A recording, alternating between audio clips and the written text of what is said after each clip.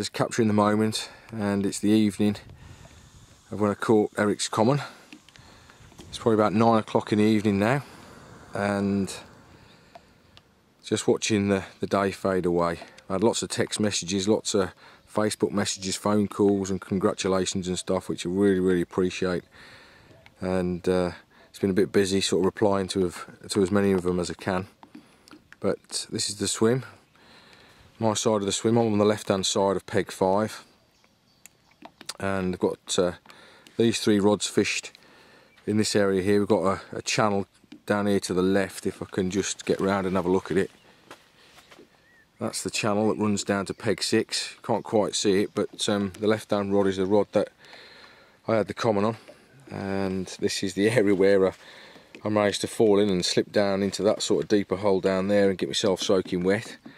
And this rod here next to it is the rod that is fished on that side of the channel, on the far side of the channel, the one that I got uh, tangled up in whilst I was I was landing Eric's.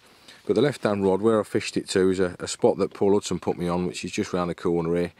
You've got a set of snags around there as well as a, a small sort of inlet.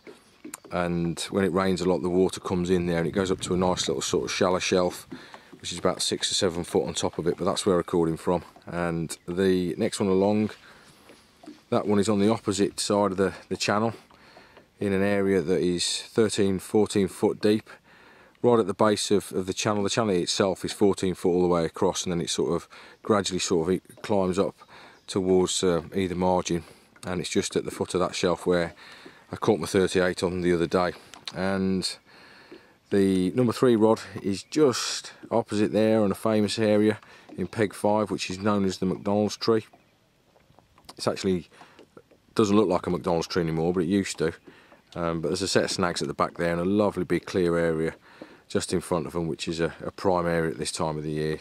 Now, there's not a lot of fish in front of us at the moment. Most of the fish are in front of Peg 21 where they've been spawning and Arjun's had one of the best catches of this year already. A couple of weeks ago he ended up with 86 fish or 87 fish, I can't remember exactly how many, um, in two weeks, including several fish over 30 kilos. So there's a lot in that area at the moment.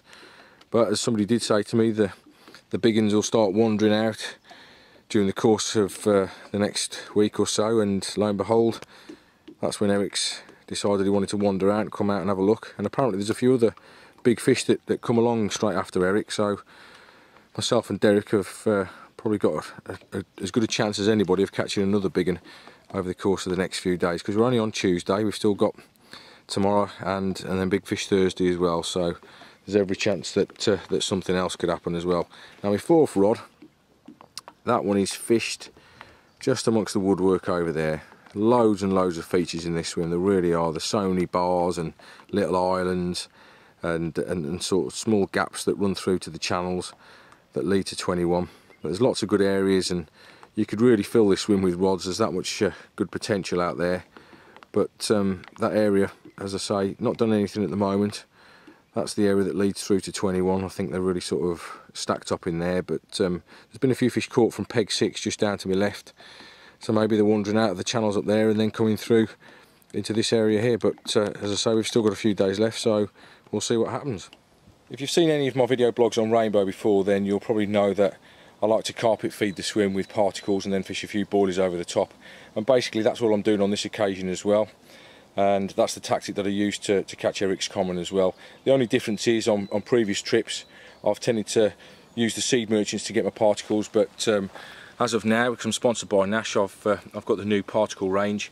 We've got the slicker hemp there, we've got the tiger nut slush, we've got the salted mini mix and the salted mega mix. I'm actually using Nash's tiger nuts as well but I've not got any here on show because I've run out.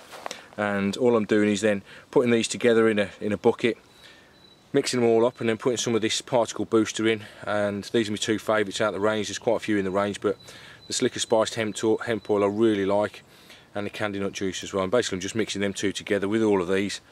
And then as I say putting it in a bucket and then base feeding the swim at the moment I'm probably baiting each spot with about three kilos of particles and then fishing a couple of kilos of, of boilie over the top now I've got two different boilies that I'm using on this occasion I've got the uh, the key which I've had such great success on over previous trips and I'm also using the Chiji Active and the one lo and behold that did the, the big fish, the Eric's Common was was the was the key, which is no surprise because it is designed to to single out the bigger fish. But basically, that's it. It's pretty simple, pretty simple stuff. And then all I'm doing is fishing the rigs that I always use on the lake, which are very simple setup. It's a snowman setup with a single bottom bait and a small pop up, just to critically balance it on a size two.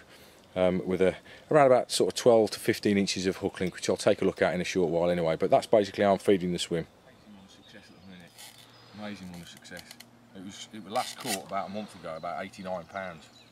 So I think it's going to be a new PB. Let's put it that way. Good lad. Oh mate, just blown away up. It was a comedy of errors. That was a, a Derek Fell performance, mate. It really was. Cheers for that. Because I fell in down here when the rod went. fell in down here. Water went over my boots. And then got it stuck in the snag over there. And uh, when I got it stuck in the snag, I was trying to lift the snag up. And as I lifted the snag up, I put it on top of the boat. The boat went under the under the water. A load of water started gushing in. Not loads, but enough to sort of make you sit there and think, oh, I'm going to lose this. And then I got out of there, it went over to the left, it got in a snag there. And then I got out of that one, it went into another snag a little bit further along, and all the time it was just a really, really heavy fight, a really dogged fight. And when I saw it on the surface, I'm, I, I, like I say, I'm, I'm, absolutely convinced it's the fish that everybody wants out this lake. Right, that is definitely Eric's. You got it video, mate, yeah. Uh, there you go. There's his tail. Look at him. It's definitely the big old boy out the out the lake. Last caught at 89 pounds. You videoing that? Yeah. Yeah. Last caught at 89. So can somebody just pull the that out for us? Cheers, mate. Oh, oh boy, you're a mega.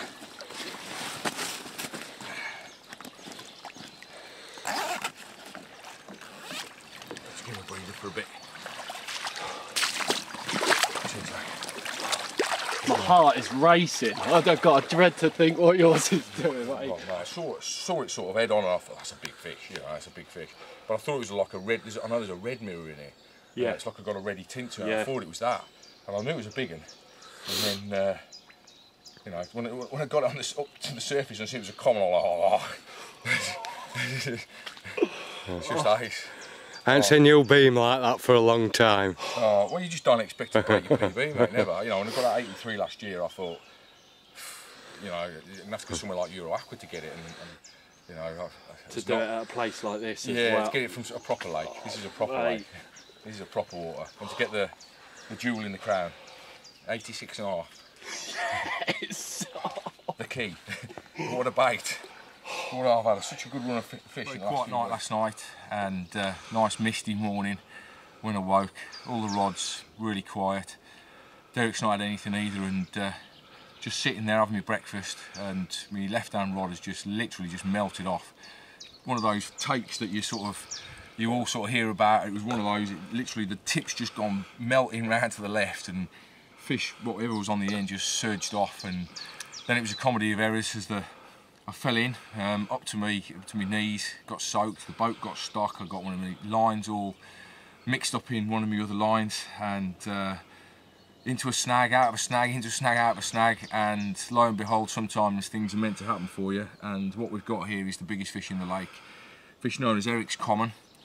That's 86 and a half pounds, which, you know, last week I was at Church Lake in Essex and I dreamt about catching the 4x4 and this week I came to um, came to Rainbow thinking, God, love to catch Eric's and bang, you know, two out of two in two weeks. It's the sort of stuff that I'm used to typing up on catch reports at Carp Talk, people having mega red letter days and red letter weeks, but uh, it's mine at the moment. So all I can say is take a look at this phenomenal fish, huge head on it, really, really huge head on it. Um, you know, magnificent creature, 86 and a half pounds, fish known as Eric's Common, and on the key again. What a fantastic bait. It's my second 80 on the key. So, if that's not enough evidence to tell you that it's a good bait, then I don't know what else we've got to do because uh, fantastic, fantastic. Let's have another little quick look at him. Yeah. I've got some wicked video there, dude. Oh, did you get some film on it? yeah, mate, filmed Okay, all that. mate, Yeah, there we go. One more look before we let him go. Eric's Common. Right, we're just going to let him go then, and he's bottomed out here. He really is. This is sort of almost knee depth to me, because I'm sort of kneeling down at the moment. But he's he's bottomed out. It looks like he's listing, but he's not. He's uh, he's just so big. I'm just going to let him go anyway. None the worse for wear. Marvellous fish from a marvellous fishery. Uh, one of the things that you always see with these big fish at, at Rainbow is this famous wrinkly heads that they have. And uh, cool, that is one that I've uh, I've wanted to touch for a long time. Amazing fish. Eric's common. Come on, dude. There he goes. Fantastic. No gas bubbles. Thanks for the memory, mate. I'm very unlikely to break my PB again, so amazing moment. Thanks ever so much, Lee. Yes! Thanks for sharing it with us, Wow, mate. Wow. Star man, brilliant with the camera. Thanks for Derek as well. Well done, Shag. Awesome, awesome, mega moment.